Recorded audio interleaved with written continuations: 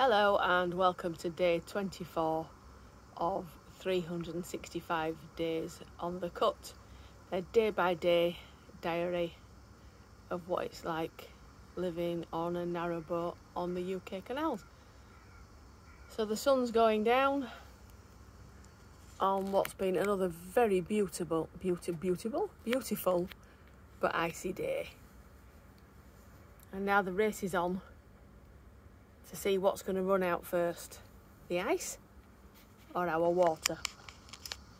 Tune in next time to find out. Have a great evening. See you tomorrow.